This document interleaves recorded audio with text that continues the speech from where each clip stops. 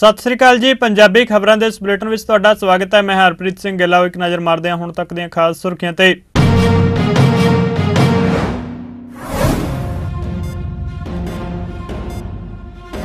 ਪ੍ਰਧਾਨ ਮੰਤਰੀ ਨਰਿੰਦਰ ਮੋਦੀ ਨੇ ਰਾਜ ਸਭਾ ਵਿੱਚ ਕੀਤਾ ਸੰਬੋਧਨ, ਕਿਹਾ ਕਾਂਗਰਸ ਨੂੰ ਆਪਣੇ ਨੇਤਾ ਦੀ ਗਾਰੰਟੀ ਨਹੀਂ, ਉਹ ਮੇਰੀ ਗਾਰੰਟੀ ਉੱਤੇ ਸਵਾਲ ਚੁੱਕ ਰਹੇ ਨੇ।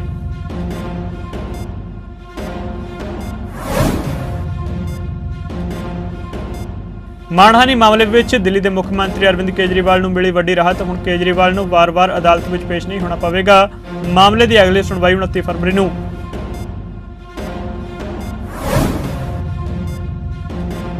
ਪਾਕਿਸਤਾਨ 'ਚ ਚੋਣਾਂ ਤੋਂ ਪਹਿਲਾਂ ਚੋਣ ਦਫ਼ਤਰ ਵਿੱਚ ਹੋਇਆ ਬੰਬ ਧਮਾਕਾ। ਧਮਾਕੇ ਵਿੱਚ 14 ਲੋਕਾਂ ਦੀ ਹੋਈ ਮੌਤ, ਕਈ ਜ਼ਖਮੀ।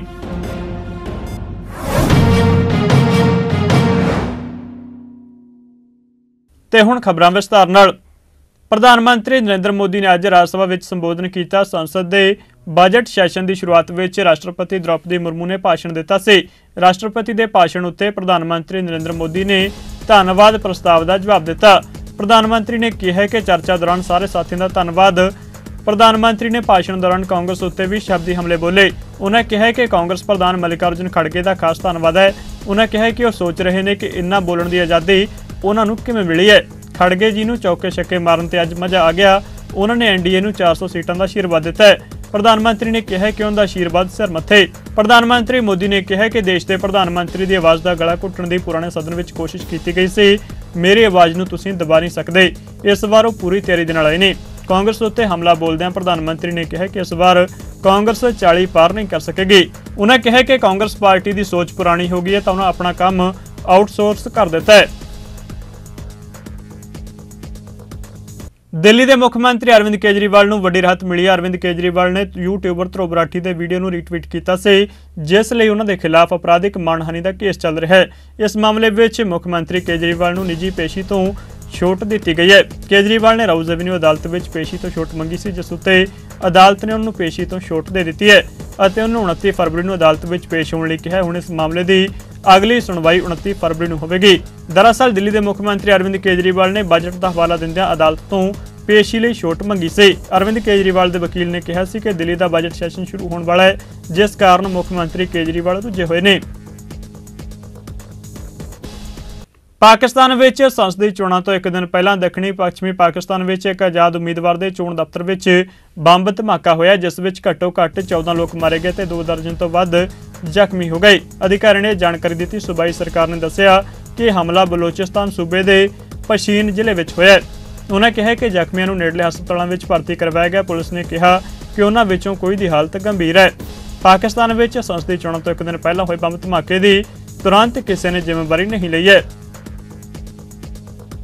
ਦਿੱਲੀ ਦੇ ਮੁੱਖ ਮੰਤਰੀ ਅਰਵਿੰਦ ਕੇਜਰੀਵਾਲ ਤੇ ਸਿੱਖਿਆ ਮੰਤਰੀ ਆਤਸ਼ੀ ਨੇ ਦਿੱਲੀ ਸਪੋਰਟਸ ਸਕੂਲ ਵਿੱਚ ਇਨਡੋਰ ਸਵਿਮਿੰਗ ਪੂਲ ਦਾ ਉਦਘਾਟਨ ਕੀਤਾ ਇਸ ਦੌਰਾਨ ਮੁੱਖ ਮੰਤਰੀ ਨੇ ਖਿਡਾਰੀਆਂ ਦਾ ਹੌਸਲਾ ਵਧਾਉਂਦਿਆਂ ਕਿਹਾ ਕਿ ਉਹ ਉਹਨਾਂ ਦੀ ਹਰ ਜ਼ਰੂਰਤ ਪੂਰੀ ਕਰਨਗੇ ਪਰ ਖਿਡਾਰੀਆਂ ਦਾ ਉਦੇਸ਼ 올림픽 ਵਿੱਚ ਦੇਸ਼ ਲਈ ਮੈਡਲ ਲਿਆਉਣਾ ਹੋਣਾ ਚਾਹੀਦਾ ਹੈ ਕੇਜਰੀਵਾਲ ਨੇ ਕਿਹਾ ਕਿ ਦਿੱਲੀ ਸਪੋਰਟਸ ਸਕੂਲ ਲਈ 10000 ਤੋਂ ਵੱਧ ਅਰਜ਼ੀਆਂ ਆਈਆਂ ਸਨ ਕੰਪੀਟੀਸ਼ਨ ਅਤੇ ਟੈਸਟ ਤੋਂ ਬਾਅਦ ਸਿਰਫ 172 ਹੋਣਹਾਰ ਬੱਚਿਆਂ ਦੀ ਚੋਣ ਕੀਤੀ ਗਈ ਹੈ ਉਹਨਾਂ ਕਿਹਾ ਕਿ ਆਉਣ ਵਾਲੇ ਦਿਨਾਂ ਵਿੱਚ ਖੇਡਾਂ ਸੰਬੰਧੀ ਹੋਰ ਸਹੂਲਤਾਂ ਵੀ ਦਿੱਤੀਆਂ ਜਾਣਗੀਆਂ ਇਸ ਨਾਲ ਦਿੱਲੀ ਦੇ ਖਿਡਾਰੀ ਪੂਰੀ ਦੁਨੀਆ ਵਿੱਚ ਭਾਰਤ ਦਾ ਨਾਮ ਰੌਸ਼ਨ ਕਰ ਸਕਣਗੇ हमने केवल और केवल एक ही मकसद से दिल्ली स्पोर्ट्स यूनिवर्सिटी बनाई है ओलंपिक में मेडल लाने के लिए तो आप सब लोगों को उसी एक मकसद से काम करना है कि सबको ओलंपिक में मेडल लाने की तैयारी करनी है ये हमारा मकसद है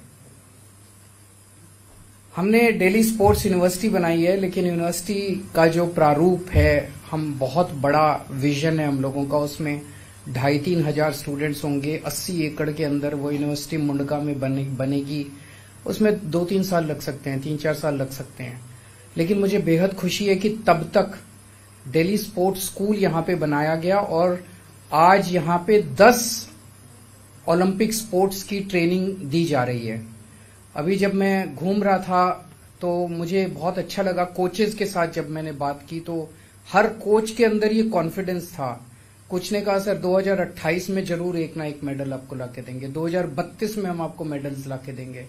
तो जो कॉन्फिडेंस है, वो बहुत इंपॉर्टेंट है। इसका मतलब सबके दिमाग में टारगेट बड़ा क्लियर है, अर्जुन की आँख की तरह, कि भाई, हमें ओलंपिक में मेडल लेके आना है। और वो कॉन्फिडेंस है कि हम उसकी तरफ़ काम कर रहे हैं और हम आपको मेडल ला के देंगे। आज आपके बीच में आके बहुत अच्छा लगा और ये सारी फैसिलिटीज़ देख के बहुत अच्छा लगा। इतने कम समय के अंदर, मात्र चार से छह महीने के अंदर आपने नेशनल लेवल पे स्टेट लेवल पे इतने सारे मेडल जीत लिए। वो एक हमें भी हौसला देता है और आपको भी हौसला देता है कि भविष्य के अंदर हम बहुत अच्छा करके दिखाएँगे। ਨਾਂਦੇੜ ਵਿੱਚ ਸਿੱਖ ਗੁਰਦੁਆਰਾ ਸੱਚਖੰਡ ਸ੍ਰੀ ਹਜੂਰ ਅਬਚਲ ਨਗਰ ਸਾਹਿਬ ਐਕਟ 1955 ਵਿੱਚ ਮਹਾਰਾਸ਼ਟਰ ਦੀ ਏਕਨਾਥ ਸ਼ਿੰਦੇ ਸਰਕਾਰ ਵੱਲੋਂ ਹਾਲ ਹੀ ਵਿੱਚ ਕੀਤੀ ਗਈ ਸੋਧ ਅਤ ਹੈ ਤੇ ਸਿੱਖ ਧਾਰਮਿਕ ਮਾਮਲਿਆਂ ਵਿੱਚ ਸਿੱਧੀ ਦਖਲਅੰਦਾਜ਼ੀ ਹੈ। ਇਸ ਸੰਬੰਧੀ ਅਕਾਲੀ ਦਲ ਦੇ ਬੁਲਾਰੇ ਡਾਕਟਰ ਦਲਜੀਤ ਸਿੰਘ ਚੀਮਾ ਨੇ ਕਿਹਾ ਕਿ ਰਾਜ ਸਰਕਾਰ ਨੇ ਬੋਰਡ ਦੇ ਕੁੱਲ 17 ਮੈਂਬਰਾਂ ਵਿੱਚੋਂ 12 ਨੂੰ ਸਿੱਧੇ ਤੌਰ ਤੇ ਨਾਮਜ਼ਦ ਕਰਨ ਦਾ ਰਾਹ ਖੋਲ ਦਿੱਤਾ ਹੈ। ਸ਼੍ਰੋਮਣੀ ਕਮੇਟੀ ਵੱਲੋਂ ਭੇਜੇ ਗਏ ਮੈਂਬਰਾਂ ਦੀ ਗਿਣਤੀ 4 ਤੋਂ ਘਟਾ ਕੇ 2 ਕਰ ਦਿੱਤੀ ਗਈ ਹੈ। ਚੀਫ ਖਾਲਸਾ ਦੀਵਾਨ ਹਜੂਰੀ ਸੱਚਖੰਡ ਦੀਵਾਨ ਦੀ ਨਾਮਜ਼ਦਗੀ ਖਤਮ ਕਰ ਦਿੱਤੀ ਗਈ ਹੈ। ਇਸੇ ਤਰ੍ਹਾਂ ਬੋਰਡ ਦੇ ਮੈਂਬਰ ਰਹੇ ਦੋ ਸਿੱਖ ਸੰਸਦ ਮੈਂਬਰਾਂ ਨੂੰ ਵੀ ਨਵੀਂ ਸੋਧ ਵਿੱਚ ਇਸ ਅਧਿਕਾਰ ਤੋਂ ਵਾਂਝਾ ਕਰ ਦਿੱਤਾ ਗਿਆ ਉਹਨਾਂ ਕਿਹਾ ਕਿ ਸੂਬਾ ਸਰਕਾਰ ਦੇ ਨਾਲ ਕਦਮਾਂ ਤੋਂ ਸਪਸ਼ਟ ਹੈ ਕਿ ਸੂਬਾ ਸਰਕਾਰ ਗੁਰਦੁਆਰਾ ਬੋਰਡ ਤੇ ਪੂਰਾ ਕਬਜ਼ਾ ਕਰਨ ਜਾ ਰਹੀ ਹੈ, ਜਿਸ ਨੂੰ ਸਿੱਖ ਕੌਮ ਬਰਦਾਸ਼ਤ ਨਹੀਂ ਕਰ ਸਕਦੀ। ਅਕਾਲੀ ਦਲ ਨੇ ਮਹਾਰਾਸ਼ਟਰ ਸਰਕਾਰ ਨੂੰ ਇਸ ਸੋਧ ਨੂੰ ਤੁਰੰਤ ਵਾਪਸ ਲੈਣ ਦੀ ਅਪੀਲ ਕੀਤੀ ਹੈ। ਤਖਤ ਸ੍ਰੀ ਹਜੂਰ ਸਾਹਿਬ ਨਾਂਦੇੜ ਗੁਰਦੁਆਰਾ ਬੋਰਡ ਵਿੱਚ ਸਰਕਾਰ ਵੱਲੋਂ ਸਿੱਖ ਸੰਸਥਾਵਾਂ ਦੇ ਮੈਂਬਰਾਂ ਦੀ ਗਿਣਤੀ ਘਟਾਉਣ ਦੀ ਕਾਰਵਾਈ ਦਾ ਗੰਭੀਰ ਨੋਟਿਸ ਲੈਂਦਿਆਂ ਸ਼੍ਰੋਮਣੀ ਗੁਰਦੁਆਰਾ ਪ੍ਰਬੰਧਕ ਕਮੇਟੀ ਦੇ ਪ੍ਰਧਾਨ ਐਡਵੋਕੇਟ ਹਰਜਿੰਦਰ ਸਿੰਘ ਧਾਮੀ ਨੇ ਕਿਹਾ ਕਿ ਇਹ ਬਹੁਤ ਹੀ ਦੁਖਦਾਈ ਅਤੇ ਨਿੰਦਣਯੋਗ ਹੈ। ਉਹਨਾਂ ਇਸ ਮਾਮਲੇ ਨੂੰ ਲੈ ਕੇ ਮਹਾਰਾਸ਼ਟਰ ਦੇ ਮੁੱਖ ਮੰਤਰੀ ਏਕਨਾਥ ਸ਼ਿੰਦੇ ਨੂੰ ਪੱਤਰ ਲਿਖ ਕੇ ਸਖਤ ਇਤਰਾਜ਼ ਪ੍ਰਗਟ ਕੀਤਾ ਤੇ ਇਸ ਮਾਮਲੇ ਦੀ ਗੰਭੀਰਤਾ ਨੂੰ ਵੇਖਦਿਆਂ ਮੁਲਾਕਾਤ ਲਈ ਸਮਾਂ ਵੀ ਮੰਗਿਆ ਸ਼੍ਰੋਮਣੀ ਗੁਰਦੁਆਰਾ ਪ੍ਰਬੰਧਕ ਕਮੇਟੀ ਦੇ ਪ੍ਰਧਾਨ ਐਡਵੋਕੇਟ ਹਰਜਿੰਦਰ ਸਿੰਘ ਧਾਮੀ ਨੇ ਕਿਹਾ ਕਿ ਮਹਾਰਾਸ਼ਟਰ ਸਰਕਾਰ ਦੇ ਮੰਤਰੀ ਮੰਡਲ ਵੱਲੋਂ ਤਖਤ ਸ੍ਰੀ ਹਜੂਰ ਸਾਹਿਬ ਪ੍ਰਬੰਧਕੀ ਬੋਰਡ ਦੇ ਐਕਟ ਵਿੱਚ ਮਨਮਰਜ਼ੀ ਦੀ ਸੋਧ ਸਿੱਖ ਗੁਰਦੁਆਰਾ ਪ੍ਰਬੰਧਾਂ ਵਿੱਚ ਸਿੱਧੀ ਦਖਲਅੰਦਾਜ਼ੀ ਹੈ। ਐਡਵੋਕੇਟ ਧਾਮੀ ਨੇ ਮੁੱਖ ਮੰਤਰੀ ਏਕਨਾਥ ਸ਼ਿੰਦੇ ਨੂੰ ਅਪੀਲ ਕੀਤੀ ਕਿ ਉਹ ਸਿੱਖ ਗੁਰਧਾਮਾਂ ਦੇ ਪ੍ਰਬੰਧਾਂ ਵਿੱਚ ਸਰਕਾਰੀ ਪ੍ਰਭਾਵ ਵਧਾਉਣ ਵਾਲੀਆਂ ਕਾਰਵਾਈਆਂ ਨੂੰ ਤੁਰੰਤ ਬੰਦ ਕਰਨ ਅਤੇ ਸ੍ਰੀ ਹਜੂਰ ਸਾਹਿਬ ਨੂੰ ਗੁਰਦੁਆਰਾ ਬੋਰਡ ਨਾਲ ਸੰਬੰਧਿਤ ਐਕਟ 1956 ਨੂੰ ਤੋੜਨ ਦੀ ਕਾਰਵਾਈ ਨੂੰ ਤੁਰੰਤ ਰੋਕਣ।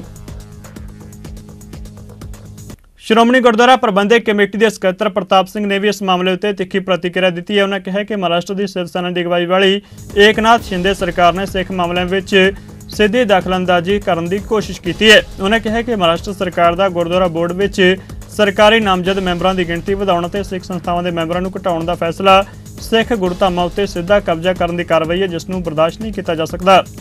ਜਿਵੇਂ ਕਿ ਅਸੀਂ ਪਹਿਲਾਂ ਵੀ ਬੜੀ ਵਾਰ ਕਹਿ ਚੁੱਕੇ ਹਾਂ ਕਿ ਸਰਕਾਰਾਂ ਜਿਹੜੀਆਂ ਉਹ ਸਿੱਖ ਧਰਮ 'ਚ ਸਿੱਖ ਗੁਰਦੁਆਰਾ ਸਾਹਿਬਾਂ ਦੇ ਪ੍ਰਬੰਧ ਵਿੱਚ ਸਿੱਧ ਦਖਲਅੰਦਾਜ਼ੀ ਕਰ ਰਹੀਆਂ ਨੇ। ਜਿਵੇਂ ਕਿ ਤੁਸੀਂ ਵੇਖੋ ਕਿ ਸ਼੍ਰੋਮਣੀ ਕਮੇਟੀ ਨੂੰ ਤੋੜਨ ਦੀ ਕੋਸ਼ਿਸ਼ ਕੀਤੀ ਗਈ, ਹਰਿਆਣਾ ਕਮੇਟੀ ਬਣਾਈ ਗਈ। ਹੁਣ ਜਿਹੜਾ ਹਜੂਰ ਸਾਹਿਬ, ਤਖਸ਼ੀ ਹਜੂਰ ਸਾਹਿਬ ਆ, ਉੱਥੇ 1956 ਵਾਲਾ ਐਕਟ ਬਿਲਕੁਲ ਖਤਮ ਕਰ ਦਿੱਤਾ ਗਿਆ।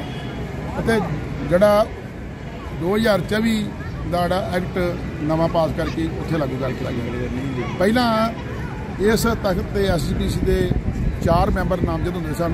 ਹੁਣ ਘਟਾ ਕੇ ਦੋ ਕਰ ਦਿੱਤੇ ਗਏ ਆ। ਚੀਫ ਖਾਲਸਾ ਦੀਵਾਨ ਅਤੇ ਹਜੂਰੀ ਖਾਲਸਾ ਦੀਵਾਨ ਦਾ ਇੱਕ ਇੱਕ ਮੈਂਬਰ ਨਾਮਜ਼ਦ ਹੁੰਦਾ ਸੀ। ਉਹ ਵੀ ਖਤਮ ਕਰ ਦਿੱਤਾ ਗਿਆ। ਸਰਕਾਰ ਵੱਲੋਂ ਪਹਿਲਾਂ ਜਿਹੜੇ ਉਹ ਤਿੰਨ ਮੈਂਬਰ ਨਾਮਜ਼ਦ ਹੁੰਦੇ ਸਨ ਐਰਕਾ ਉਹਨਾਂ ਨੇ ਤਖ਼ਤ ਸ੍ਰੀ ਹਜੂਰ ਸਾਹਿਬ ਦੀ ਮੈਂਬਰੀ 12 ਮੈਂਬਰ ਜਿਹੜੇ ਨਾਮਜ਼ਦ ਕਰਤੇ ਨੇ। ਪਹਿਲਾਂ ਦੋ ਸਿੱਖ ਜਿਹੜੇ ਐਮਪੀ ਹੁੰਦੇ ਸੀ, ਉਹ ਵੀ ਉੱਥੋਂ ਦੇ ਮੈਂਬਰ ਹੁੰਦੇ ਸੀ। ਉਹਨਾਂ ਨੂੰ ਵੀ ਨਜ਼ਰਅੰਦਾਜ਼ ਕਰ ਦਿੱਤਾ ਗਿਆ। ਮੈਂ ਸਮਝਦਾ ਕਿ ਇਹ ਸਾਡੇ ਤਖਤਾਂ ਤੇ ਸਰਕਾਰ ਦਾ ਸਿੱਧਾ ਹਮਲਾ ਆ। ਸਾਡੇ ਜਿਹੜੇ ਗੁਰਦੁਆਰਾ ਸਾਹਿਬਾਂ ਦੇ ਪ੍ਰਬੰਧ ਉਹਦਾ ਸਿੱਧਾ ਹਮਲਾ ਵਾ। ਪਿੱਛੇ ਜੇ ਤੁਸੀਂ ਵੇਖੋ ਕਿ ਹਰਿਆਣਾ ਕਮੇਟੀ ਜਿਹੜੀ ਸਰਕਾਰ ਨੇ, ਉੱਥੋਂ ਦੀ ਹਰਿਆਣਾ ਸਰਕਾਰ ਤੇ ਸੈਂਟਰ ਸਰਕਾਰ ਨੇ ਬਣਾ ਕੇ, ਉਹ ਸਿੱਖਾਂ ਦੇ ਧਰਮ 'ਚ ਸਿੱਧਾ ਦਖਲ ਦਿੱਤਾ। ਹੁਣ ਉਸ ਤੋਂ ਇਹ ਇਲਾਵਾ ਇਹ ਦੂਜਾ ਹਮਲਾ ਜਿਹੜਾ ਸਿੱਖਾਂ ਨੇ ਕੀਤਾ ਹੈ, ਜਿਹੜਾ ਹਜੂਰ ਸਾਹਿਬ ਦਾ ਜਿਹੜਾ ਬੋਰਡ ਆ, ਉਹਦੇ ਵਿੱਚ ਤਿੰਨ ਦੀ ਬਜਾਏ 12 ਮੈਂਬਰ ਜਿਹੜੇ ਆਪਣੇ ਨਾਮਜ਼ਦ ਕਰਕੇ ਇਹ ਸਿੱਖ ਧਰਮ ਸਿੱਧਾ ਦਖਲ ਦਿੱਤਾ ਜਾ ਰਿਹਾ। ਮੈਂ ਸਰਕਾਰ ਨੂੰ ਚੇਤਾਵਨੀ ਦਿੰਦਾ ਕਿ ਸਿੱਖ ਧਰਮ 'ਚ ਦਖਲ ਨਾ ਦਿਓ। ਸਿੱਖ ਕਦੇ ਵੀ ਆਪਣੇ ਧਰਮ 'ਚ ਜਿਹੜਾ ਬਾਹਰੀ ਦਖਲ ਆ ਉਹ ਬਰਦਾਸ਼ਤ ਨਹੀਂ ਕਰਦੇ। ਤੇ ਤੁਸੀਂ ਸਿੱਖ ਕੌਮ ਨੂੰ ਭੜਕਾਉਣ ਵਾਲੀ ਕੋਸ਼ਿਸ਼ ਕਰਦੇ ਹੋ, ਨਾ ਕਰੋ। ਤਾਂ ਜੋ ਸਿੱਖ ਜਿਹੜੇ ਉਹ ਜਿੱਥੇ ਵੀ ਵਸਦੇ ਨੇ ਤੇ ਉਹ ਅਮਨ ਸ਼ਾਂਤੀ ਨਾਲ ਵਸਦੇ ਰਹਿਣ। ਅਕਾਲੀ ਦਲ ਬਾਦਲ ਸਰਨਾ ਧੜੇ ਨੂੰ ਦਿੱਲੀ ਵਿੱਚ ਉਦੋਂ ਵੱਡਾ ਝਟਕਾ ਲੱਗਿਆ, ਜਦੋਂ ਦਿੱਲੀ ਸਿੱਖ ਗੁਰਦੁਆਰਾ ਪ੍ਰਬੰਧਕ ਕਮੇਟੀ ਦੇ ਇੱਕ ਸਾਬਕਾ ਜਨਰਲ ਸਕੱਤਰ ਅਤੇ ਤਿੰਨ ਮੈਂਬਰਾਂ ਨੇ ਪਾਰਟੀ ਨੂੰ ਛੱਡ ਕੇ ਕਮੇਟੀ ਦੇ ਪ੍ਰਧਾਨ ਸਰਦਾਰ ਹਰਮੀਤ ਸਿੰਘ ਕਾਲਕਾ ਤੇ ਜਨਰਲ ਸਕੱਤਰ ਜਗਦੀਪ ਸਿੰਘ ਕਾਲੋਂ ਦੀ ਹਾਜ਼ਰੀ ਵਿੱਚ ਸ਼੍ਰੋਮਣੀ ਅਕਾਲੀ ਦਲ ਦਿੱਲੀ ਸਟੇਟ ਵਿੱਚ ਸ਼ਮੂਲੀਅਤ ਕੀਤੀ। ਇਹਨਾਂ ਮੈਂਬਰਾਂ ਦਾ ਪਾਰਟੀ ਵਿੱਚ ਸ਼ਾਮਲ ਹੋਣ ਤੇ ਸਵਾਗਤ ਕਰਦਿਆਂ ਦਿੱਲੀ ਸਿੱਖ ਗੁਰਦੁਆਰਾ ਪ੍ਰਬੰਧਕ ਕਮੇਟੀ ਦੇ ਪ੍ਰਧਾਨ ਹਰਮੀਤ ਸਿੰਘ ਕਾਲਕਾ ਅਤੇ ਜਨਰਲ ਸਕੱਤਰ ਜਗਦੀਪ ਸਿੰਘ ਕਾਲੋਂ ਨੇ ਕਿਹਾ ਕਿ ਲੋਕ ਦਿੱਲੀ ਕਮੇਟੀ ਦੀ ਮੌਜੂਦਾ ਟੀਮ ਵੱਲੋਂ ਧਾਰਮਿਕ, ਸਿਹਤ, ਮੈਡੀਕਲ ਸਹੂਲਤਾਂ ਅਤੇ ਸਿੱਖਿਆ ਸਮੇਤ ਹੋਰ ਖੇਤਰਾਂ ਵਿੱਚ ਮਨੁੱਖਤਾ ਤੇ ਸਿੱਖ ਕੌਮ ਪ੍ਰਤੀ ਕੀਤੀਆਂ ਜਾ ਰਹੀਆਂ ਸੇਵਾਵਾਂ ਤੋਂ ਬਹੁਤ ਖੁਸ਼ ਨੇ। ਉਹਨਾਂ ਕਿਹਾ ਕਿ ਅਸੀਂ ਸਾਬਕਾ ਜਨਰਲ ਸਕੱਤਰ ਸਰਦਾਰ ਗੁਰਮੀਤ ਸਿੰਘ ਸ਼ੰਟੀ, ਮੈਂਬਰਾਂ ਸਰਦਾਰ ਗੁਰਪ੍ਰੀਤ ਸਿੰਘ ਖੰਨਾ, ਸਰਦਾਰ ਪਰਮਜੀਤ ਸਿੰਘ ਖੁਰਾਣਾ ਅਤੇ ਸਰਦਾਰ ਇੰਦਰਪ੍ਰੀਤ ਸਿੰਘ ਕੋਛੜ ਦਾ ਪਾਰਟੀ ਵਿੱਚ ਸ਼ਾਮਲ ਹੋਣ ਤੇ ਸਵਾਗਤ ਕਰਦੇ ਹਾਂ। ਉਹਨਾਂ ਕਿਹਾ ਕਿ ਇਹਨਾਂ ਮੈਂਬਰਾਂ ਨੂੰ ਆਉਣ ਦੇ ਸਮੇਂ ਵਿੱਚ ਅਹਿਮ ਜ਼ਿੰਮੇਵਾਰੀਆਂ ਦਿੱਤੀਆਂ ਜਾਣਗੀਆਂ। ਬਹੁਤ ਹੀ ਖੁਸ਼ੀ ਦੀ ਗੱਲ ਕਿ ਸ਼੍ਰੋਮਣੀ ਅਕਾਲੀ ਦਲ ਦਿੱਲੀ ਸਟੇਟ, ਜਿਹੜੀ ਅੱਜ ਤੋਂ ਤਕਰੀਬਨ 2 ਸਾਲ ਪਹਿਲਾਂ ਦਿੱਲੀ ਦੇ ਹੱਕਾਂ ਲਈ, ਦਿੱਲੀ ਦੇ ਲੋਕਾਂ ਲਈ ਸਥਾਪਿਤ ਕੀਤੀ ਗਈ ਸੀ। ਔਰ ਉਹਦਾ ਇੱਕੋ ਇੱਕ ਮੁੱਖ ਉਦੇਸ਼ ਸੀ ਕਿ ਸ਼੍ਰੋਮਣੀ ਅਕਾਲੀ ਦਲ ਦੀਆਂ ਪੁਰਾਣੀਆਂ ਲੀਹਾਂ ਦੇ ਉੱਤੇ ਚੱਲਦੇ ਹੋਏ ਪੰਥ ਦੇ ਹਰ ਲੜਾਈ ਨੂੰ ਅੱਗੇ ਵੱਧ ਕੇ ਲੜਨ ਵਸੇ ਔਰ ਸਿੱਖ ਕੌਮ ਦੀ ਸੇਵਾ ਕਰਨ ਵਾਸਤੇ ਇਸ ਪਾਰਟੀ ਨੂੰ ਬਣਾਇਆ ਗਿਆ ਸੀ। ਸਾਡਾ ਮਤ ਵੀ ਸੀ ਇੱਕੋ ਕਿ ਅਸੀਂ ਇਸ ਪਾਰਟੀ ਨੂੰ ਨਿਰੋਲ ਧਾਰਮਿਕ ਰੱਖਦੇ ਹੋਏ ਸਿੱਖ ਕੌਮ ਦੇ ਹਰ ਮਸਲਿਆਂ ਨੂੰ ਚੁੱਕ ਸਕੀਏ। ਸਰਕਾਰਾਂ ਦੇ ਨਾਲ ਤਾਲਮੇਲ ਬਣਾ ਕੇ ਭਾਵੇਂ ਉਹ ਦਿੱਲੀ ਦੀ ਸਰਕਾਰ ਹੋਵੇ, ਭਾਵੇਂ ਉਹ ਕੇਂਦਰ ਦੀ ਸਰਕਾਰ ਹੋਵੇ, ਉਹਨਾਂ ਦੇ ਨਾਲ ਤਾਲਮੇਲ ਬਣਾ ਕੇ ਸਿੱਖ ਕੌਮ ਦੇ ਸਾਰੇ ਮਸਲੇ ਹੱਲ ਕਰਾ ਸਕੀਏ।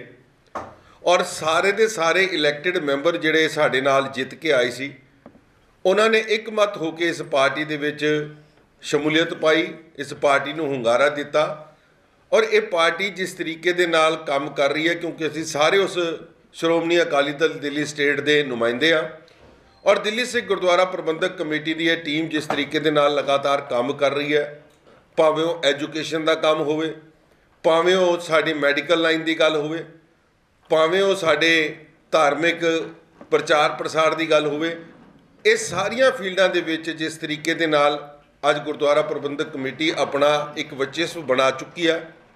ਆਪਣੀ ਜਿਹੜੀ ਸੇਵਾ ਹੈ, ਉਹ ਦੁਨੀਆ ਭਰ ਦੇ ਵਿੱਚ ਪਹੁੰਚਾਈ ਹੈ ਕਿ ਜੋ ਇਹ ਕਮੇਟੀ ਕੰਮ ਕਰ ਰਹੀ ਆ, ਜਿੰਨੀ ਪਾਰਦਰਸ਼ਤਾ ਦੇ ਨਾਲ ਕੰਮ ਕਰ ਰਹੀ ਹੈ, ਇਹਦੇ ਵਿੱਚ ਨਿਰੰਤਰ ਜਿਹੜਾ ਇਜ਼ਾਫਾ ਹੋ ਰਿਹਾ।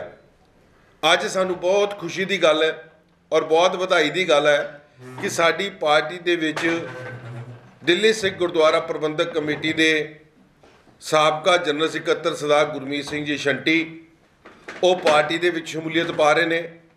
ਉਹਨਾਂ ਦੇ ਨਾਲ ਸਾਡੇ ਬਹੁਤ ਹੀ ਸਤਿਕਾਰਯੋਗ Sardar Paramjit Singh ji Khurana, member Delhi Sikh Gurdwara Parbandhak committee, Sardar Gurpreet Singh ji Khanna, member Delhi Sikh Gurdwara Parbandhak committee ਔਰ ਸਰਦਾਰ ਇੰਦਰਪ੍ਰੀਤ ਸਿੰਘ ਜੀ ਮੌਂਟੀ ਕੋਛੜ, ਜਿਹੜੇ ਰਜੋਰੀ ਗਾਰਡਨ ਤੋਂ ਮੈਂਬਰ ਨੇ। ਇਹ ਸਾਰੇ ਮੈਂਬਰ ਦਿੱਲੀ ਸਿੱਖ ਗੁਰਦੁਆਰਾ ਪ੍ਰਬੰਧਕ ਕਮੇਟੀ ਦੇ ਤਿੰਨ ਮੈਂਬਰ ਸਾਹਿਬਾਨ ਔਰ ਇੱਕ ਸਾਬਕਾ ਜਨਰਲ ਸਕੱਤਰ ਸਾਹਿਬ। ਇਹਨਾਂ ਨੇ ਪਾਰਟੀ ਦੀ ਕਾਰਜਗੁਜ਼ਾਰੀ ਨੂੰ ਦੇਖਦੇ ਹੋਏ ਸਾਡੇ ਨਾਲ ਸੰਪਰਕ ਤੇ ਪਿਛਲੇ ਕਾਫੀ ਸਮੇਂ ਤੋਂ ਸੀ। ਸਾਡੇ ਨਾਲ ਪ੍ਰੋਗਰਾਮਾਂ ਦੇ ਵਿੱਚ ਵੀ ਸ਼ਮੂਲੀਅਤ ਪਾਉਂਦੇ ਸੀ। ਮਗਰ ਇਹਨਾਂ ਦੇ ਦਿਲਾਂ ਦੇ ਵਿੱਚ ਇਹ ਗੱਲ ਸੀ ਕਿ ਜਿਹੜੀ ਪਾਰਟੀ ਨੇ ਸਾਨੂੰ ਦੇ ਨਾਲ ਅਸੀਂ ਖਲੋਤੇ ਸੀ, ਉਹ ਪਾਰਟੀ ਸਾਨੂੰ ਧੋਖਾ ਦੇ ਕੇ ਚਲੇ ਗਈ ਔਰ ਜਿਹੜੀ ਪਾਰਟੀ ਦੇ ਖਿਲਾਫ ਸਾਡੇ ਨਾਲ ਜਿਹੜੇ ਇਲੈਕਸ਼ਨ ਲੜੇ ਸੀ ਖਿਲਾਫ ਇਸ ਪਾਰਟੀ ਨੇ ਉਹਨਾਂ ਦੀ ਬਾਹ ਵੀ ਫੜੀ ਔਰ ਇਸ ਪਾਰਟੀ ਦੇ ਕੰਮਾਂ ਨੂੰ ਦੇਖਦੇ ਹੋਏ ਅੱਜ ਇਹਨਾਂ ਨੇ ਫੈਸਲਾ ਕੀਤਾ ਕਿ ਅੱਜ ਸ਼੍ਰੋਮਣੀ ਅਕਾਲੀ ਦਲ ਦਿੱਲੀ ਸਟੇਟ ਦੇ ਵਿੱਚ ਸਾਰੇ ਸ਼ਮੂਲੀਅਤ ਪਾ ਰਹੇ ਆ। ਮੈਂ ਆਪਣੀ ਸਮੁੱਚੀ ਟੀਮ ਦੇ ਨਾਲ ਸਾਡੇ ਜਨਰਲ ਸਕੱਤਰ ਸਰਦਾਰ ਸਰਦਾਰ ਜਗਦੀਪ ਸਿੰਘ ਜੀ ਕਾਲੂ ਸਾਹਿਬ ਬੈਠੇ ਆ। ਸਾਡੇ ਸੀਨੀਅਰ ਮੈਂਬਰ ਸਰਦਾਰ ਗੁਰਮੀਤ ਸਿੰਘ ਜੀ ਪਾਟਿਆ ਜੀ, ਸਰਦਾਰ ਹਰਜੀਤ ਸਿੰਘ ਜੀ ਪੱਪਾ ਜੀ, ਸਰਦਾਰ ਜਸਪ੍ਰੀਤ ਸਿੰਘ ਜੀ ਕਰਮਸਰ ਸਾਹਿਬ, ਸਰਦਾਰ ਪਰਮਜੀਤ ਸਿੰਘ ਜੀ ਚੰਦੋਕ ਸਾਹਿਬ ਐਸਾ ਇੱਕ ਮਾਹੌਲ ਸਰਦਾਰ ਗੁਰਦੇਵ ਸਿੰਘ ਜੀ ਵੀ ਹੁਣੇ ਆਏ ਨੇ, ਸਰਦਾਰ ਨਾਗੀ ਸਾਹਿਬ, ਸਰਦਾਰ ਜੁਝਾਰ ਸਿੰਘ ਜੀ। ਇਹ ਸਾਰੀ ਟੀਮ ਜਿਸ ਤਰੀਕੇ ਦੇ ਨਾਲ ਸਿੱਖ ਪੰਥ ਦੀ ਚੜ੍ਹਦੀ ਕਲਾ ਦੀ ਗੱਲ ਕਰ ਰਹੀ ਹੈ, ਉਹਨਾਂ ਲਈ ਸੇਵਾ ਕਰ ਰਹੀ ਹੈ। ਸਰਦਾਰ ਸੁਰਜੀਤ ਸਿੰਘ ਜੀ ਜੀਤੀ ਸਾਡੇ ਬਹੁਤ ਹੀ ਸੀਨੀਅਰ ਮੈਂਬਰ ਨੇ। ਸਮੁੱਚੇ ਮੈਂਬਰ ਜਿਹੜੇ ਕਿਉਂਕਿ ਸਮਾਂ ਸਵੇਰ ਦਾ ਸੀ, ਅਸੀਂ ਇੱਕਦਮ ਅਚਾਨਕ ਪ੍ਰੈਸ ਕਾਨਫਰੰਸ ਕੀਤੀ ਹੈ। ਸਾਰੇ ਮੈਂਬਰ ਸਾਹਿਬਾਨ ਦੀ ਇੱਕ ਰਜਾਮੰਦੀ ਸੀ ਕਿ ਇਹ ਸਾਰੇ ਟੀਮ ਨੂੰ ਦਾ ਇਜ਼ਾਫਾ ਕੀਤਾ ਜਾਏ। ਔਰ ਇਹ ਇਹਨਾਂ ਨੇ ਜੋ ਅੱਜ ਫਿਰਾਕ ਦਿੱਲੀ ਦਿਖਾਈ ਹੈ ਜਿਹੜੀ ਅਨਕੰਡੀਸ਼ਨਲ ਸਪੋਰਟ ਇਸ ਪਾਰਟੀ ਨੂੰ ਦੇਣ ਵਾਸਤੇ ਇਹ ਸਾਰੇ ਇਕੱਠੇ ਹੋਏ ਨੇ, ਮੈਂ ਇਹਨਾਂ ਦਾ ਧੰਨਵਾਦ ਕਰਦਾ। ਔਰ ਇਹਨਾਂ ਦੀ ਇਸ ਫਿਰਾਕ ਦਿੱਲੀ ਨੂੰ ਦੇਖਦੇ ਹੋਏ ਅਸੀਂ ਇਹ ਵੀ ਫੈਸਲਾ ਕੀਤਾ ਕਿ ਆਉਣ ਵਾਲੇ ਸਮੇਂ ਦੇ ਵਿੱਚ ਸਾਰਿਆਂ ਨੂੰ ਐਸੀ ਐਸੀ ਜ਼ਿੰਮੇਵਾਰੀਆਂ ਦਿੱਤੀਆਂ ਜਾਣ ਤਾਂ ਕਿ ਜਿੱਥੇ ਆਪਣੇ ਇਲਾਕੇ ਦੇ ਨਾਲ ਨਾਲ ਪੂਰੀ ਦਿੱਲੀ ਦੀ ਇਹ ਸੇਵਾ ਕਰ ਸਕਣ। ਮੈਂ ਸਭ ਤੋਂ ਪਹਿਲਾਂ ਤਾਂ ਬਹੁਤ ਹੀ ਸਤਿਕਾਰਯੋਗ ਸਾਡੇ ਦਿੱਲੀ ਸਿੱਖ ਗੁਰਦੁਆਰਾ ਪ੍ਰਬੰਧਕ ਕਮੇਟੀ ਦੇ ਤਿੰਨ ਮੈਂਬਰ ਸਾਹਿਬ ਸਰਦਾਰ ਗੁਰਪ੍ਰੀਤ ਸਿੰਘ ਜੀ ਖੰਨਾ ਸਾਹਿਬ, ਸਰਦਾਰ ਪਰਮਜੀਤ ਸਿੰਘ ਜੀ ਖੁਰਾਣਾ ਸਾਹਿਬ ਤੇ ਸਰਦਾਰ ਇੰਦਰਪ੍ਰੀਤ ਸਿੰਘ ਜੀ ਮੋਂਟੀ ਜੀ ਔਰ ਉਹਨਾਂ ਦੇ ਨਾਲ ਦਿੱਲੀ ਸਿੱਖ ਗੁਰਦੁਆਰਾ ਪ੍ਰਬੰਧਕ ਕਮੇਟੀ ਦੇ ਸਾਬਕਾ ਜਨਰਲ ਸਕੱਤਰ ਸਰਦਾਰ ਗੁਰਮੀਤ ਸਿੰਘ ਸ਼ੰਟੀ ਜੀ ਅੱਜ ਸਾਡੀ ਟੀਮ ਨੂੰ ਜੁਆਇਨ ਕਰ ਰਹੇ ਆ ਔਰ ਸ਼੍ਰੋਮਣੀ ਅਕਾਲੀ ਦਲ ਦਿੱਲੀ ਸਟੇਟ ਨੂੰ ਜੁਆਇਨ ਕਰ ਰਹੇ ਆ। ਮੈਂ ਇਹਨਾਂ ਨੂੰ ਸਾਰਿਆਂ ਨੂੰ ਵਧਾਈ ਦਿੰਦਾ, ਜੀ ਆਇਆਂ ਕਹਿਣਾ ਔਰ ਉਮੀਦ ਕਰਦਾ ਹੈ ਕਿ ਜਿਸ ਤਰ੍ਹਾਂ ਇਹ ਟੀਮ ਪਹਿਲੇ ਦਿੱਲੀ ਔਰ ਦਿੱਲੀ ਤੋਂ ਬਾਹਰ ਜਿੱਥੇ ਵੀ ਕਿਤੇ ਕੋਈ ਸਿੱਖ ਕੌਮ, ਸਿੱਖ ਪੰਥ ਦਾ ਕੋਈ ਮਸਲਾ ਹੋਵੇ, ਉਸ ਦੇ ਉੱਤੇ ਬਹੁਤ ਹੀ ਸੰਜੀਦਗੀ ਦੇ ਨਾਲ ਕੰਮ ਕਰ ਰਹੇ ਆ ਔਰ ਇਹਨਾਂ ਦੇ ਆਉਣ ਦੇ ਨਾਲ ਸਾਡੇ ਜਿਹੜੇ ਹੱਥ ਹੈ ਬਾਹਾਂ ਹੋਰ ਮਜ਼ਬੂਤ ਹੋਣਗੀਆਂ ਔਰ ਅਸੀਂ ਕੌਮ ਅਤੇ ਪੰਥ ਦੀ ਹੋਰ ਚੰਗੇ, ਸੁਚੱਜੇ ਢੰਗ ਦੇ ਨਾਲ ਸੇਵਾ ਕਰ ਸਕਾਂਗੇ ਕਿਉਂਕਿ ਇਹਨਾਂ ਨੇ ਸਾਡੀ ਟੀਮ, ਦਿੱਲੀ ਸਿੱਖ ਗੁਰਦੁਆਰਾ ਪ੍ਰਬੰਧਕ ਕਮੇਟੀ ਦੀ ਟੀਮ, ਸ਼੍ਰੋਮਣੀ ਅਕਾਲੀ ਦਲ ਦਿੱਲੀ ਸਟੇਟ ਦੀ ਟੀਮ, ਉਹਨਾਂ ਦੇ ਕੰਮਾਂ ਤੋਂ ਪ੍ਰਭਾਵਿਤ ਹੋ ਕੇ ਅੱਜ ਇਸ ਟੀਮ ਦਾ ਹਿੱਸਾ ਬਣੇ ਆ। ਸੋ ਮੈਂ ਜ਼ਿਆਦਾ ਕੁਝ ਨਾ ਕਹਿੰਦਾ ਹੋਇਆ, ਇਹਨਾਂ ਨੂੰ ਜੀ ਆਇਆਂ ਕਹਿਣਾ ਪਾਰਟੀ ਦੇ ਵਿੱਚ ਵੀ ਔਰ ਦਿੱਲੀ ਸਿੱਖ ਗੁਰਦੁਆਰਾ ਪ੍ਰਬੰਧਕ ਕਮੇਟੀ ਦੀ ਟੀਮ ਦੇ ਵਿੱਚ ਵੀ। ਗੁਰਮੀਤ ਸਿੰਘ ਸ਼ੰਟੀ, ਸਾਬਕਾ ਜਨਰਲ ਸਕੱਤਰ ਦਿੱਲੀ ਗੁਰਦੁਆਰਾ ਪ੍ਰਬੰਧਕ ਕਮੇਟੀ। ਮੇਰੇ ਨਾਲ ਦਿੱਲੀ ਗੁਰਦੁਆਰਾ ਕਮੇਟੀ ਦੇ ਤਿੰਨ ਮੈਂਬਰ ਸਾਹਿਬਾਨ ਸਰਦਾਰ ਗੁਰਪ੍ਰੀਤ ਸਿੰਘ ਜੀ ਖੰਨਾ ਸਰਦਾਰ ਪਰਮਜੀਤ ਸਿੰਘ ਜੀ ਖੁਰਾਣਾ, ਸਰਦਾਰ ਇੰਦਰਪ੍ਰੀਤ ਸਿੰਘ ਜੀ ਕੋਛੜ। ਅੱਜ ਆਪਣਾ ਪੂਰਾ ਜੋ ਵੀ ਮਨ ਦੇ ਵਿੱਚ, ਗਹਿਰਾਈਆਂ ਦੇ ਵਿੱਚ ਇਹਨਾਂ ਦੇ ਵਲਵਲੇ ਸੀ, ਅੱਜ ਮੈਂ ਸਮਝਦਾ ਉਹ ਮੌਕਾ ਤਾਂ ਨਹੀਂ ਕੱਢਣ ਦਾ, ਲੇਕਿਨ ਅੱਗੇ ਬੜਾ ਸਮਾਂ ਆਏਗਾ, ਬੜੀਆਂ ਗੱਲਾਂ ਹੋਣਗੀਆਂ। ਅੱਜ ਸਿਰਫ ਇਤਨਾ ਕਹਿਣਾ ਚਾਹੁੰਦਾ ਕਿ ਅੱਜ ਅਸੀਂ ਸਾਰੇ ਸ਼੍ਰੋਮਣੀ ਅਕਾਲੀ ਦਲ ਦਿੱਲੀ ਸਟੇਟ ਦੇ ਵਿੱਚ ਜਿੱਥੇ ਸ਼ਮੂਲੀਅਤ ਕੀਤੀ ਹੈ, ਉੱਥੇ ਸਾਡਾ ਅੱਜ ਤੋਂ ਬਾਅਦ ਸਿਰਫ ਔਰ ਸਿਰਫ ਇੱਕੋ ਹੀ ਟੀਚਾ ਹੋਏਗਾ ਕਿ ਸ਼੍ਰੋਮਣੀ ਅਕਾਲੀ ਦਲ ਦਿੱਲੀ ਸਟੇਟ ਨੂੰ ਪੂਰੇ ਦਿੱਲੀ ਸ਼ਹਿਰ ਤੋਂ ਲੈ ਕੇ ਹਿੰਦੁਸਤਾਨ ਦੀ ਵੱਖ-ਵੱਖ ਜਗ੍ਹਾ ਦੇ ਉੱਤੇ ਜਿੱਥੇ ਵੀ ਸਿੱਖ ਪੰਥ ਦੇ ਲੋਕ ਰਹਿੰਦੇ ਹਨ, ਸਿੱਖ ਪੰਥ ਦੀ ਜਿੱਥੇ ਵੀ ਵਸੋ ਹੈ, ਉੱਥੇ ਸਿੱਖ ਪੰਥ ਨੂੰ ਚੜ੍ਹਦੀ ਕਲਾ ਵਿੱਚ ਲਿਜਾਣ ਲਈ ਜਿੰਨੇ ਵੀ ਵੱਧ ਤੋਂ ਵੱਧ ਉਪਰਾਲੇ ਹੋ ਸਕਣਗੇ, ਉਹ ਅਸੀਂ ਕਰਾਂਗੇ। ਮੈਂ ਬਹੁਤ ਇਹਨਾਂ ਦੀ ਦਿਲ ਤੋਂ ਕਰਾਈਆਂ ਦਾ ਪ੍ਰਧਾਨ ਜੀ ਤੇ ਜਨਰਲ ਜਨਰਲ ਸਕੱਤਰ ਸਾਹਿਬ ਨਾਲ ਸ਼ੰਟੀ ਜੀ ਜੋ ਆਏ ਨੇ ਕਰਮ ਸਰ ਸਾਹਿਬ ਬੈਠੇ ਨੇ, ਬਹੁਤ ਇਹਨਾਂ ਦੀ ਦਿਲ ਤੇ ਕਰਾਈਆਂ ਤੋਂ ਧੰਨਵਾਦ ਕਰਦਾ ਜੋ ਇਹਨਾਂ ਨੇ ਸਾਨੂੰ ਆਪਣੇ, ਆਪਣੀ ਪਾਰਟੀ ਸ਼ਾਮਲ ਕਰਕੇ ਔਰ ਗੁਰੂ ਸਾਹਿਬ ਜੀ ਇਹ ਹਾਜ਼ਰ ਨਾਜ਼ਰ ਕਹਿ ਕੇ ਕਹਿ ਰਹੇ ਗੁਰੂ ਤੇਗ ਬਹਾਦਰ ਸਾਹਿਬ ਮਹਾਰਾਜ ਦਾ ਸਥਾਨ ਹੈ। ਤੇ ਉਹੀ ਸੇਵਾਵਾਂ ਜੋ ਗੁਰੂ ਦੀ ਕਿਰਪਾ ਨਾਲ ਪੰਥ ਦੇ, ਕੌਮ ਦੀਆਂ ਜੋ ਸੇਵਾਵਾਂ ਹੋਣਗੀਆਂ ਔਰ ਵੱਧ ਚੜ ਕੇ ਗੁਰੂ ਸਾਹਿਬ ਦੀ ਕਿਰਪਾ ਨਾਲ ਉਹ ਸੱਚੇ ਪਾਤਸ਼ਾਹ ਆਪ ਹੀ ਕਰਾਣਗੇ ਮੈਨੂੰ ਕਈਆਂ ਦੇ ਫੋਨ ਵੀ ਆਏ, ਤੁਸੀਂ ਸੁਣਿਆ ਕੱਲ ਕੱਲ ਨਾਲ ਚਲੇ ਗਏ ਤੁਸੀਂ ਸੁਣਿਆ ਕਾਲੋ ਸਾਹਿਬ ਨਾਲ ਚਲੇ ਗਏ ਮੈਂ ਉਹਨਾਂ ਨੂੰ ਇੱਕੋ ਗੱਲ ਕੀਤੀ, ਮੈਂ ਠੀਕ ਹੈ, ਅਸੀਂ ਕਾਰ ਦੇ ਨਿਸ਼ਾਨ ਤੋਂ ਇਲੈਕਸ਼ਨ ਜਿੱਤੇ ਸਾਂ। ਪਰ ਅੱਜ ਕਾਰ ਦਾ ਡਰਾਈਵਰ ਜਾਂ ਕਾਰ ਦਾ ਕਸਟੋਡੀਅਨ ਕਿਤੇ ਹੋਰ ਚਲਾ ਗਿਆ, ਕਾਰ ਛੱਡ ਕੇ। ਅਸੀਂ ਕਿੱਥੇ ਖੜੇ ਹਾਂ? ਅਸੀਂ ਕਿੱਥੇ ਖੜੇ ਹਾਂ? ਇਸ ਕਰਕੇ ਅਸੀਂ ਅੱਜ ਉਸ ਜਗ੍ਹਾ ਤੇ ਆ ਕੇ ਖੜੇ ਹੋਏ ਹਾਂ ਜਿੱਥੇ ਅਸੀਂ ਆਪਣੇ ਆਪ ਨੂੰ ਇੱਕ ਸੇਫ ਇੱਕ ਠੀਕ ਮਹਿਸੂਸ ਕਰ ਰਹੇ ਹਾਂ ਔਰ ਅਸੀਂ ਵਾਹਿਗੁਰੂ ਬਖਸ਼ਿਸ਼ ਕਰੇਗਾ, ਅਸੀਂ ਮੋਢੇ ਨਾਲ ਮੋਢਾ ਮਿਲਾ ਕੇ ਨਾਲ ਕੰਮ ਕਰਾਂਗੇ ਔਰ ਪਾਰਟੀ ਨੂੰ ਔਰ ਦਿੱਲੀ ਕਮੇਟੀ ਨੂੰ ਵੱਧ ਤੋਂ ਵੱਧ ਅੱਗੇ ਉਚਾਈਆਂ ਤੇ ਲੈ ਕੇ ਜਾਵਾਂਗੇ। ਇਹ ਦਿੱਲੀ ਗੁਰਦੁਆਰਾ ਕਮੇਟੀ ਦਾ ਜਿਹੜਾ ਸਿਲਸਿਲਾ ਸੀ ਮੇਰੇ ਫਾਦਰ ਸਾਹਿਬ ਨੇ 2002 ਦੇ ਵਿੱਚ ਸਾਡੇ ਘਰ ਦੇ ਵਿੱਚ ਪਹਿਲੀ ਵਾਰੀ ਮੈਮਰੀ ਮਹਾਰਾਜ ਦੀ ਬਖਸ਼ੀ ਸੀ। ਉਸ ਤੋਂ ਬਾਅਦ 2007 ਦੇ ਵਿੱਚ ਔਰ ਇੱਕ ਲੰਬਾ ਅਰਸਾ ਜਿਹੜਾ ਹੈ, ਅਸੀਂ ਆਪਣੀ ਸੇਵਾਵਾਂ ਜਿਹੜੀਆਂ ਸੰਗਤ ਦੇ ਵਿੱਚ ਤੇ ਇਸ ਕਰਕੇ ਜਿੱਦਾਂ ਮੈਂ ਸ਼ੰਟੀ ਜੀ ਨੇ ਕਿਹਾ ਕਿ ਜ਼ੁਬਾਨ ਦਾ ਕੀ ਹੈ ਕੁਝ ਵੀ ਬੋਲੀ ਜਾਏ ਬੰਦਾ ਸੰਗਤ ਸਾਰੀ ਜਾਣਦੀ ਹੈ ਕਿ ਸਾਡਾ ਇੱਕ ਇੱਕ ਜਿਹੜਾ ਸ਼- ਕਦਮ ਹੁੰਦਾ ਹੈ ਉਹ ਇਸੇ ਲਈ ਚੱਲਦਾ ਹੈ ਕਿ ਸੰਗਤ ਔਰ ਗੁਰੂ ਘਰ ਦੇ ਕਾਰਜਾਂ ਵਾਸਤੇ ਸਾਡਾ ਕਦਮ ਚੱਲਦਾ ਹੈ ਔਰ ਉਹਦਾ ਕਿਸ ਤਰ੍ਹਾਂ ਬੈਟਰਮੈਂਟ ਹੋਣੀ ਚਾਹੀਦੀ ਹੈ ਇਸ ਤੋਂ ਫ਼ਰਕ ਨਹੀਂ ਪੈਂਦਾ ਬੰਦਾ ਕਿੱਥੇ ਖੜਾ ਕਿੱਥੇ ਨਹੀਂ ਖੜਾ ਸਾਡਾ ਟੀਚਾ ਜਿਹੜਾ ਹੈ ਇੱਕੋ ਰਿਹਾ ਕਿ ਅਸੀਂ ਸੰਗਤ ਦੀ ਸੇਵਾ ਵਾਸਤੇ ਹਮੇਸ਼ਾ ਖੜੇ ਸੀ ਔਰ ਖੜੇ ਰਹਾਂਗੇ ਔਰ ਗੁਰੂ ਘਰ ਵਾਸਤੇ ਕੋਈ ਵੀ ਇਹੋ ਜਿਹਾ ਸਾਡੇ ਲਈ ਸੇਵਾ ਹੋਏਗੀ, ਜੋ ਸਾਨੂੰ ਸੰਗਤ ਹੁਕਮ ਕਰੇਗੀ, ਅਸੀਂ ਉਹਦੇ ਵਾਸਤੇ ਤਤਪਰ ਹਮੇਸ਼ਾ ਤਿਆਰ ਰਹਾਂਗੇ। ਔਰ ਇੱਕ ਜਿਹੜੀ ਤਕਰੀਬਨ ਡੇਢ ਸਾਲ ਹੋ ਗਿਆ ਸਾਨੂੰ ਇਸ ਕਮੇਟੀ ਦੇ ਨਾਲ ਸੰਪਰਕ ਕਰਦੇ ਹੋਏ, ਮੈਂ ਸਮਝਦਾ ਕਿ ਜ਼ਰੂਰਤ ਤੋਂ ਵੀ ਕਈ ਗੁਣਾ ਜ਼ਿਆਦਾ ਸਾਨੂੰ ਪਿਆਰ ਜਿਹੜਾ ਇੱਥੋਂ ਮਿਲਿਆ, ਕਿਉਂਕਿ ਸੰਗਤ ਨੇ ਸਾਨੂੰ ਜੋ ਵੀ ਉੱਥੋਂ ਆਦੇਸ਼ ਕੀਤਾ, ਅਸੀਂ ਇੱਥੇ ਲਿਆ ਕੇ ਪ੍ਰਧਾਨ ਸਾਹਿਬ ਕੋਲ, ਜਨਰਲ ਸੈਕਟਰੀ ਸਾਹਿਬ ਦੇ ਸਾਹਮਣੇ ਰੱਖਿਆ। ਹੈ। ਔਰ ਇਹਨਾਂ ਦੇ ਵੀ ਫਿਰ ਸੁਣਦੇ ਆ ਕਿ ਇਹਨਾਂ ਨੇ ਕਦੀ ਉਸ ਚੀਜ਼ ਤੇ ਮਨਾ ਨਹੀਂ ਕੀਤਾ। ਹਾਂ, ਇਹ ਜ਼ਰੂਰ ਹੈ ਕਿ ਥੋੜਾ ਟਾਈਮ ਲਗਾ ਕੇ ਬਈ ਚਲੋ ਹਰ ਕਮੇਟੀ ਦੀ ਆਪਣੀ ਪ੍ਰੋਸੈਸਿੰਗ ਹੁੰਦੀ ਹੈ।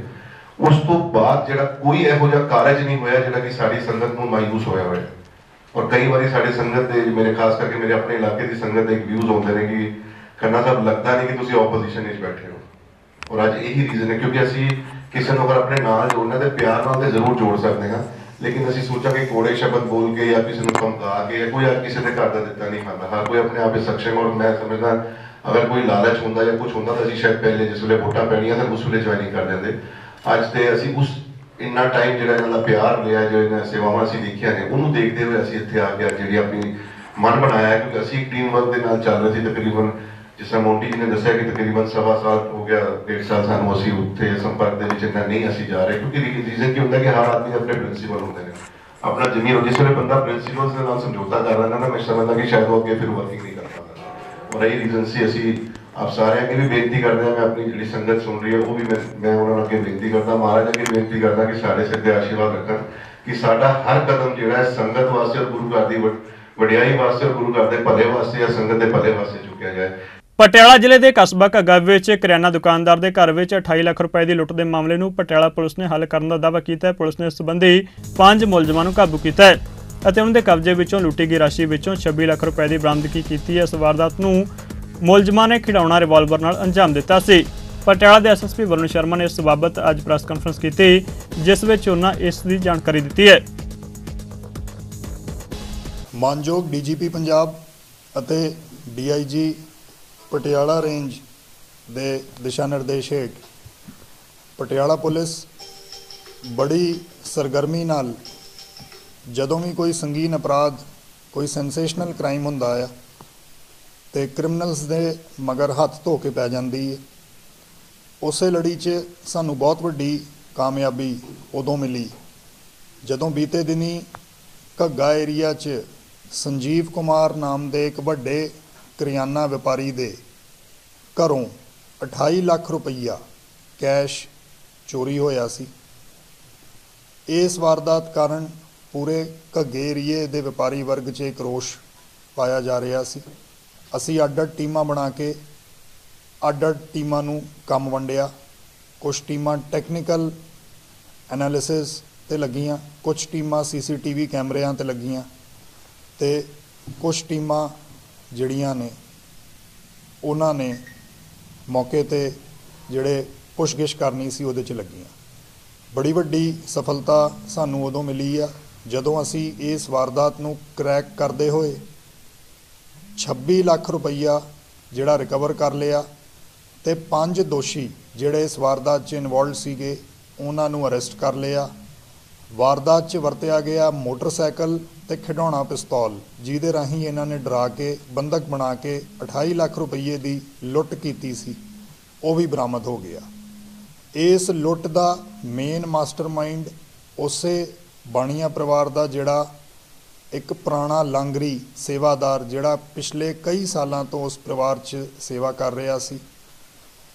ਉਹਨੂੰ ਪਤਾ ਸੀ ਕਿ ਵੱਡੀ ਕੁਆਂਟੀਟੀ 'ਚ ਕੈਸ਼ ਜਿਹੜਾ ਆ, ਘਰੇ ਰੱਖਿਆ ਹੋਇਆ। ਉਸ ਲਾਂਗਰੀ ਜੱਗੇ ਨੇ ਅੱਗੇ ਇੱਕ ਟੀਮ ਤਿਆਰ ਕੀਤੀ, ਜਿਹਦੇ 'ਚ ਉਹਨੇ ਰਮੇਸ਼, ਬੰਟੀ, ਅਮਰੀਕ ਵਗੈਰਾ ਨੂੰ ਇਸ ਵਾਰਦਾਤ ਨੂੰ ਅੰਜਾਮ ਦੇਣ ਲਈ ਤਿਆਰ ਕੀਤਾ ਤੇ ਬੜੀ ਸਫ਼ਾਈ ਨਾਲ ਉਹਨਾਂ ਨੇ ਇਸ ਵਾਰਦਾਤ ਨੂੰ ਅੰਜਾਮ ਦਿੱਤਾ ਸੀ।